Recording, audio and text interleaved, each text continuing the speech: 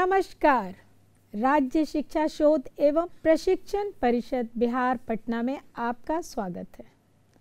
एक नई शुरुआत, एक नया दिन और एक नया चैप्टर। क्लास सेवेंथ के स्टूडेंट्स के लिए सबसे पहले मैं लेके आई हूँ आपकी English book radiance part two. English की ये बुक आपके क्लास की है और आप उसको बेहतर तरीके से स्क्रीन पे भी देख पा रहे हैं। सो so, आइए इस क्लास की शुरुआत करते हैं। मेरे पास कुछ सवाल हैं। जैसे आप अगर स्कूल आ रहे हैं और रास्ते में आपने किसी बूढ़े आदमी को या ओल्ड मैन को रोड पार करवाया हो रोड क्रॉस करवाया हो कभी ऐसा हुआ है कि आपने अपने किसी दोस्त की कुछ हेल्प की हो? क्या कभी ऐसा सिचुएशन भी आपने फेस किया है जहाँ जब आपने उसकी हेल्प की तो उसने आपको थैंक यू बोला हो। हम सब के साथ ऐसा होता है। हम सब इन वर्ड्स के यूज़ टू हैं। Thank you sorry it's okay ये सारे ऐसे वर्ड्स हैं जो आपको मजबूर करते हैं हर उस इंसान के बारे में अच्छी सोच रखने के लिए, जिसके लिए अभी आपने कुछ मदद की हो या उसके लिए कुछ आपने किया हो। सो so, चलिए आज के चैप्टर के लिए हम आपको एक कहानी सुनाते हैं। ये कहानी है सूरज और रवि की। दोनों दोस्त हैं। दोनों स्कूल की तरफ़ आ रहे हैं। उन्होंने रास्ते में देखा कि एक थर्स्टी मैन वहाँ पे बैठा हुआ है।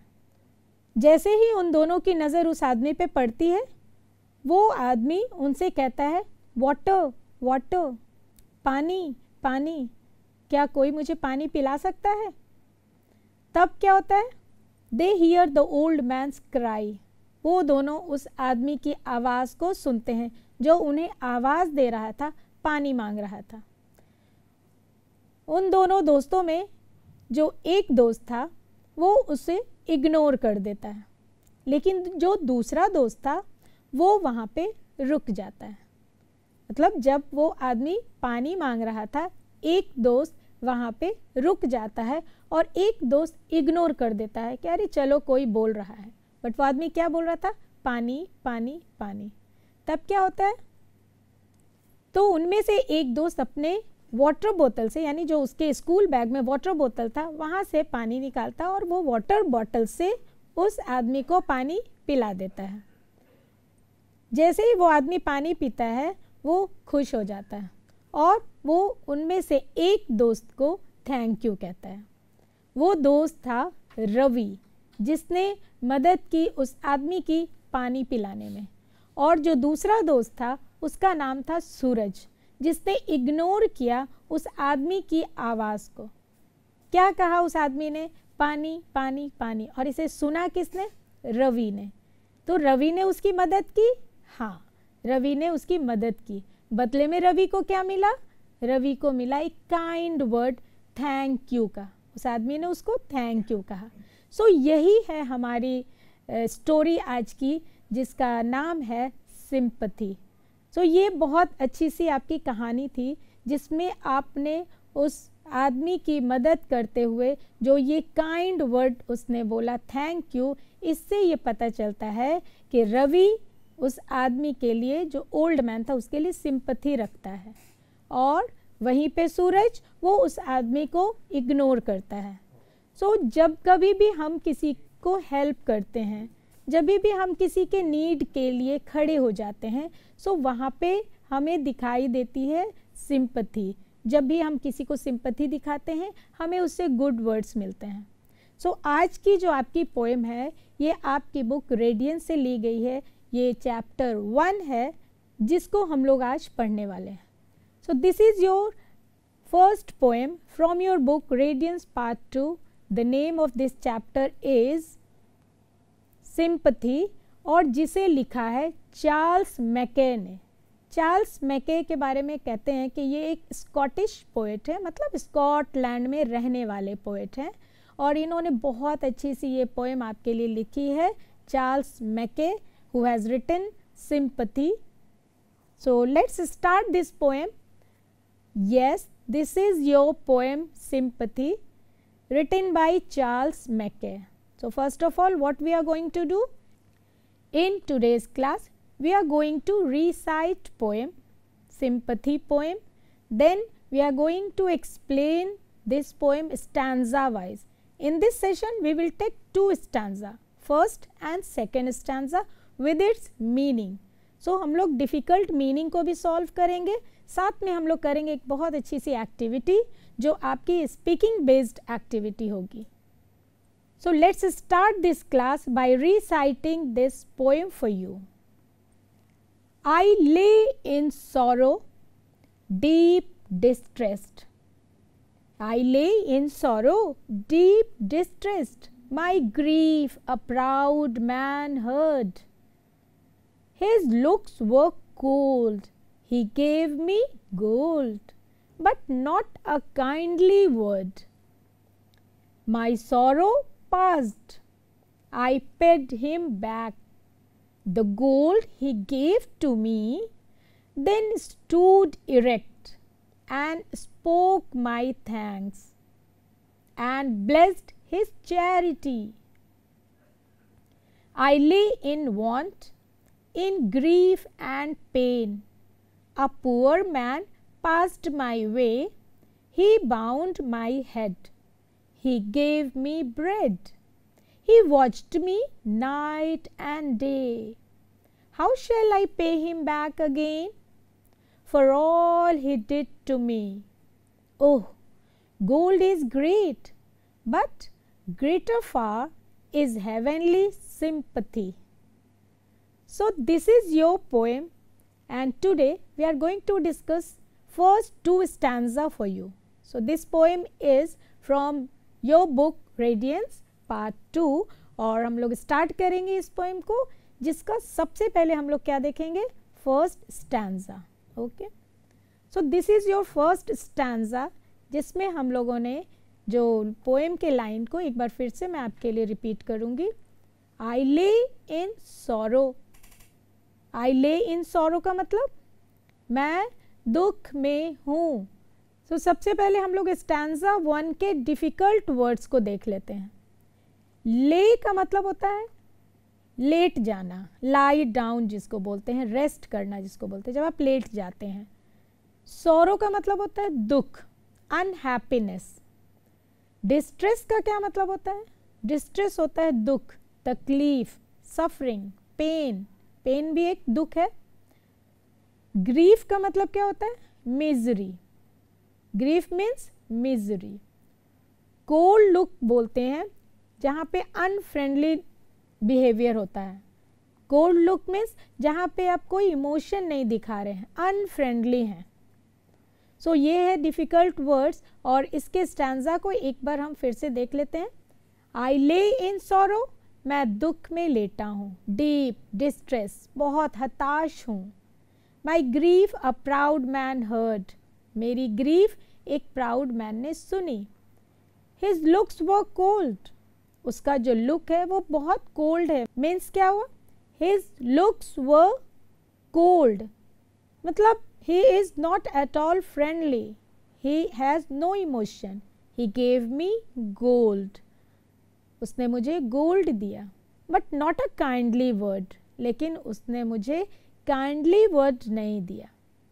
सो so, आइए इसके एक्सप्लेनेशन को देखते हैं। So the poem starts with I आप देख रहे हैं जो फ़र्स्ट लाइन आपकी पोएम का वो स्टार्ट होता है आई से। और आई मीन्स पोएट जो पोएट है वो खुद यहाँ पे स्पीकर है वो अपने बारे में ये बता रहे हैं। आई ले ठीक है ना? So, the poet was in sorrow. He was also in great pain. वो दुखी भी है। A proud man heard his grief a proud man जो होता है ना, बहुत घमंडी आदमी को बोलते हैं। जो प्राउड होता है ना, वो एक घमंडी आदमी होता है। So a proud man heard his grief उसकी जो दुख की आवाज़ है, उसने सुनी। मीन्स ये प्राउड मैन है बट उसने उसके दुख को सुना। तब उसने क्या किया? उसको एक अजीब सा जो कहते हैं ना हिज लुक्स वर्क कोल्ड उसको अजीब सा कुछ ऐसे देख लिया। कोई मतलब नहीं, बस ठीक है, एक अनफ्रेंडली सा विदाउट इमोशन उसने एक कोल्ड लुक उसे दे दिया कि ठीक है, मैंने सुना। तब उसको लगा कि अच्छा ये इंसान बड़ा दुखी है। So a proud man gave him gold तो उसने कहा, चलो, मैं तुम्हें कुछ गोल्ड दे देता हूँ, जिससे तुम्हारे दुख दूर हो जाएँगे। तो फिर उसने क्या किया? उसे गोल्ड दे दिया। Who gave gold a proud man gave gold to whom to the person who is in sorrow who is in pain but he did not say a kind word अब देखो, इस पैसेज में क्या उसने help तो की? जब वो इंसान परेशानी में था, दुख में था स्ट्रेस था डिस्ट्रेस था, उसको जो सौरो का मोमेंट था उसके लिए पेन था, सब कुछ उसके साथ था तो वो उसने उसके दुख को सुना और उसने उसे बदले में उसको दुख दूर करने के लिए उसने गोल्ड दे दिया। गोल्ड मीन्स एक अच्छा खासा उसकी मदद हो जाएगी गोल्ड से उसने दे दिया।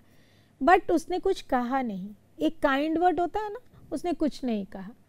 सो so, ये था आपका फ़र्स्ट स्टैंडा आइए देखते हैं सेकंड स्टैंडा को। इसमें पोएट क्या कहना चाहते हैं?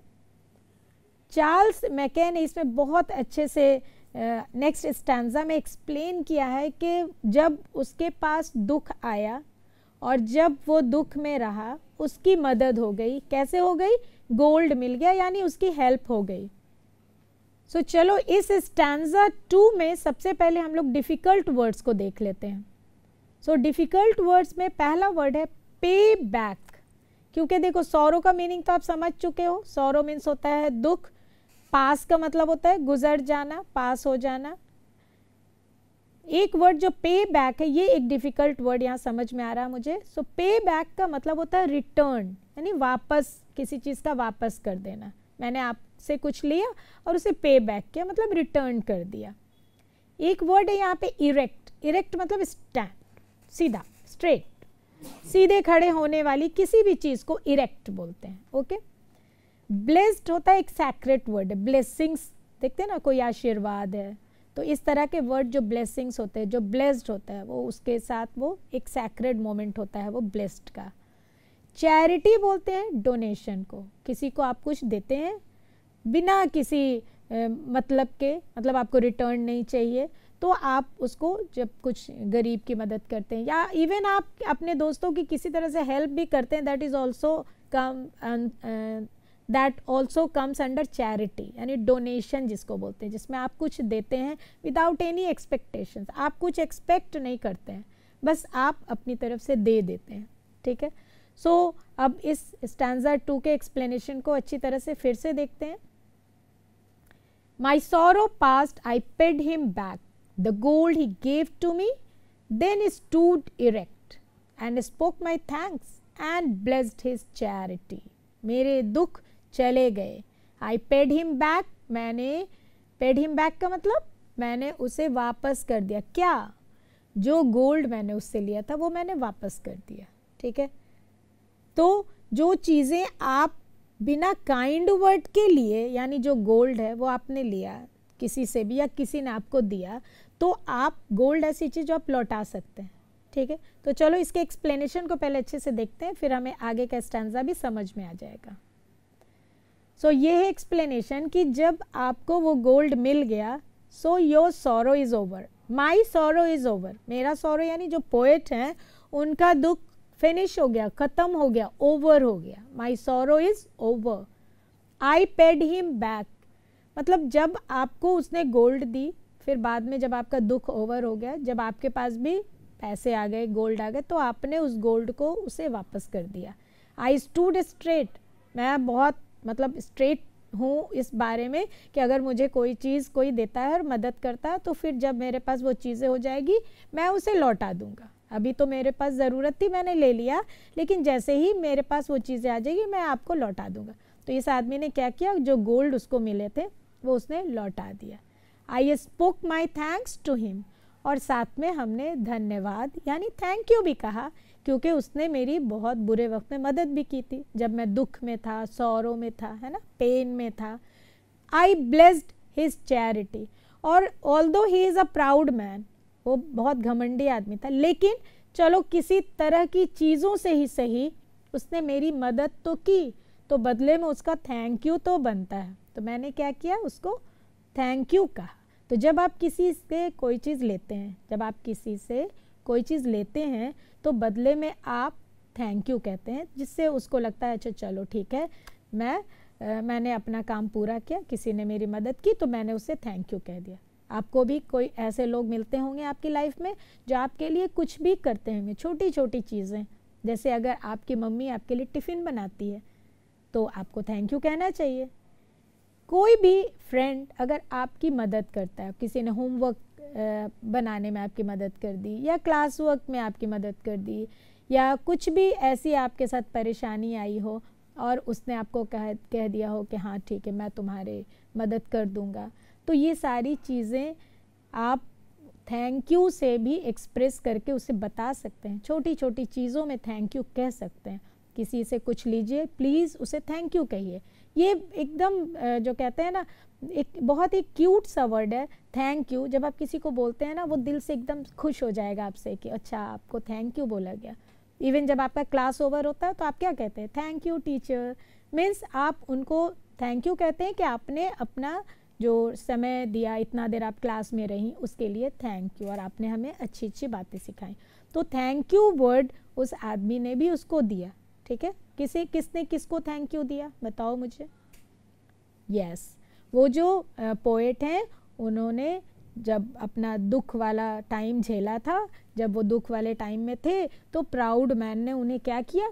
गोल्ड दिया और उस गोल्ड से उनका दुख दूर हो गया तो बदले में उसने क्या किया? थैंक यू कहा। ठीक है? तो ये दो स्टैंडा में हमने यही चीज़ को देखा कि कैसे आपकी जो वो बुरे वक्त में जब कोई आपके लिए स्टैंड लेता है जब आप उसके साथ आपको लगता है कि नहीं इसने मेरी बड़ी मदद की है तो आप थैंक यू कह के खुद को उसके सामने एक्सप्रेस कर सकते हैं कि मैं आपका बहुत बड़ा कर्जदार हूँ कि आपने मेरी इतनी बड़ी मदद करी। सो so, इसके लिए हम सभी को हमेशा रेडी होना चाहिए कि अगर किसी ने एक सेकंड के लिए भी हमारे लिए कुछ किया तो उसको थैंक यू से मैं एक्सप्रेस करूँ। ठीक है? आगे हम लोग देखते हैं। सो so, जब हम लोग का ये स्टैंडा कंप्लीट होता है तो हम लोग क्या करेंगे ना इस स्टैंडा के बदले हम लोग हमेशा एक एक्टिविटी किया करेंगे। जब कभी भी हम लोग स्टोरी पढ़ेंगे पोइम पढ़ेंगे सो हमारा जो टाइम है ना वो एक्टिविटी टाइम होगा। जहाँ हम लोग कुछ भी एक्टिविटी अच्छी अच्छी करेंगे जो आपको भी उसको करने में मज़ा आएगा। जैसे मैंने आज की एक्टिविटी ये चूज़ की है it's time to speak up तो स्पीकअप मतलब कि बोलना ही बोलना है। साथ साथ हमारे, मैं बोल रही हूँ, आपको भी बोलना है। तो जब हम लोग बोलते हैं, जब हम लोगों की स्पीकिंग डेवलप हो जाती है तो क्या होगा, जितना ज़्यादा आप स्पीक करेंगे इंग्लिश को, यानी the more you speak the more you learn तो जितना ज़्यादा आप इंग्लिश वर्ड को बोलेंगे, समझेंगे और उसको बार बार रिपीट करेंगे, उतना ज़्यादा आप इंग्लिश वर्ड को समझ पाएँगे। सो so, आज की स्पीकिंग एक्टिविटी में हम लोग ड्रिल करेंगे। ड्रिल क्या होता है बच्चों? ड्रिल होता है मैं बोलूँगी और मेरे साथ साथ आप भी दोहराएँगे ठीक है? सो so, इस तरह से आप ये तो मैंने आज एक एक्टिविटी चूज़ की तो हम लोग साथ में ड्रिल करेंगे।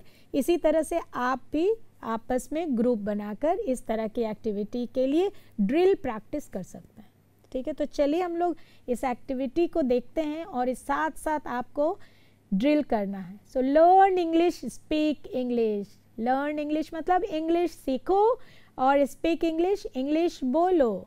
तो जो सीखेगा वही तो बोलेगा। और आज की एक्टिविटी में हमने चूज़ किया है ओ साउंड वर्ड को। अलग अलग साउंड uh, होते हैं बहुत सारे साउंड होते हैं जिसमें मैंने आज स्पेशली इस एक्टिविटी में ओ साउंड पे फोकस किया है। तो जब कभी भी हम लोग ओ बोलते हैं सो कौन से ऐसे वर्ड हैं जिसमें हम लोग ओ साउंड को बोलते हैं? तो स्टार्ट करते हैं। मेरा पहला वर्ड है sold S O L D देखिए, मैंने इस सोल्ड को कैसे बोला है? इसको थोड़ा सा ध्यान दीजिएगा। S O L D sold. तो बच्चों, मेरे साथ साथ आप भी बोलिए, ठीक है? तो चलिए साथ साथ हमारे आप वर्ड को दोहराइए। So you have to repeat after me okay sold S O L D sold ठीक है?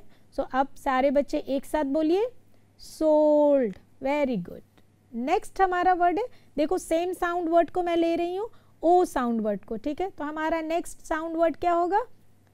Cold C O L D cold so you have to repeat after me again तो आप मेरे साथ साथ दोहराइएगा C O L D cold अभी हमने क्या बोला था? S O L D sold देखिए सिमिलर सा साउंड आ रहा है ना? यानी ओ साउंड की हम लोग बात कर रहे हैं। C O L D cold ठीक है? उसी तरह से हमारा नेक्स्ट वर्ड लेंगे हम लोग। Gold G O L D क्या वर्ड बना? गोल्ड फिर से बोलिए आप लोग मेरे साथ साथ। गोल्ड वेरी गुड चलिए हम लोग एक और वर्ड लेते हैं। वो वर्ड है old O L D old. तो ये चार वर्ड में आपने क्या नोटिस किया? कौन सा वर्ड बार बार आ रहा है? वो जो साउंड आ रहा है, वो है ओ का साउंड है। जैसे हमने बोला सोल्ड कोल्ड गोल्ड और ओल्ड तो ये चार वर्ड है। एक वर्ड आप अपनी तरफ़ से कुछ ऐसा वर्ड सोचिए और आपस में बात करके बताइए कि वो कौन सा ऐसा वर्ड है जो ओ साउंड वर्ड से आता है और वो इन सब के तरह है। मीन्स राइमिंग वैसे ही हो रही है ओल्ड गोल्ड सोल्ड कोल्ड ठीक है? एक आपके लिए मैंने जानबूझ के वो जगह छोड़ रखी है। यहाँ आप लोग खुद से एक वर्ड ऐसा बनाइए जो ओ साउंड करता है और आपस में ज़ोर से सभी लोग क्लास में बोलिए उस वर्ड को। वेरी गुड तो बहुत जल्दी आपने ये वर्ड बना लिया और सभी बच्चे खूब प्रैक्टिस कर रहे हैं ड्रिल कर रहे हैं इन वर्ड्स का। तो देखिए ये तो ओ साउंड वर्ड है। वैसे और भी बहुत सारे वर्ड। आप तो ढेर सारे बच्चे वहाँ पे क्लास में बैठे हुए हैं तो आप लोग तो अलग अलग वर्ड बना सकते हैं। देखिए टेन या ट्वेंटी वर्ड्स बनाकर तो देखिए ओ साउंड वर्ड से और कितने सारे वर्ड्स आप बना सकते हैं। How many words can you make from the O sound word और ओ जो है एक वॉवल साउंड है इसका ध्यान रखिएगा। ओ जो है एक वॉवल साउंड है। सो so, इससे सोच सोच के दो चार और वर्ड बनाइए और साथ में रिपीट कीजिए ठीक है? जब ये क्लास ओवर हो जाएगा तो भी आप इसकी प्रैक्टिस करते रहेंगे। So now it's time to share your ideas अब हमने कर ली बहुत सारी प्रैक्टिस बहुत सारा ड्रिल हो गई एक्टिविटी ओवर अब हम लोग आपसे कुछ आइडियाज़ लेते हैं। तो एक्टिविटी के बाद आप सब रिलैक्स हो गए हैं। अब आपका दिमाग जो है ना बहुत एक्टिव हो चुका है। अब आप कुछ भी सोचने के लिए बिल्कुल रेडी हैं।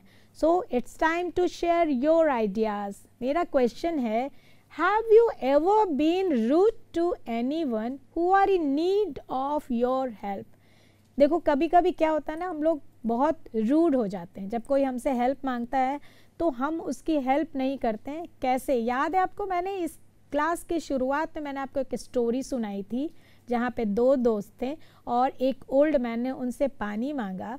तो ओल्ड मैन के पानी मांगने को एक ने रिस्पॉन्स दिया और एक ने इग्नोर किया।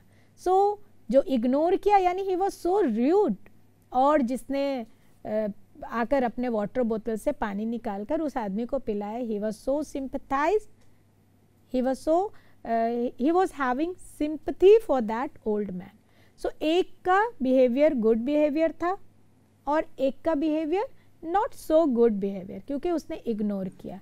सो so, आपने कभी अपनी लाइफ में ऐसा कोई मोमेंट आया हो जहाँ आपसे किसी ने मदद मांगी हो हेल्प मांगी हो और आप थोड़ा मतलब कहते हैं ना र्यूड हो गए हो कि नहीं मैं हेल्प नहीं करूँगा। क्या कभी ऐसा मोमेंट आया है?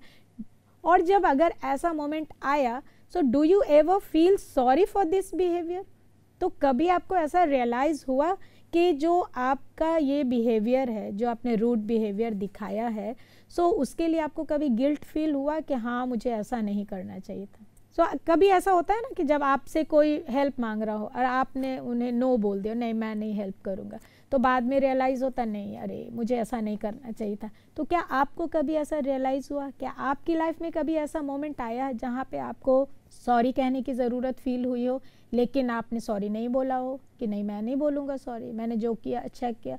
तो ऐसा अगर कोई मोमेंट आया भी है तो आप उसे अपने दोस्तों के साथ शेयर कीजिए और ये प्रॉमिस कीजिए कि नेक्स्ट टाइम आप ऐसा बिहेवियर बिल्कुल नहीं रखेंगे। तो बच्चों, आज के क्लास में हमने क्लास की शुरुआत की, एक अच्छी सी स्टोरी सुनाई आपको, दो दोस्तों की कहानी, उसके बाद हमने पोएम को पढ़ा पोएम को रिसाइट किया, आप भी पोएम को दो से तीन बार ज़रूर पढ़ेंगे।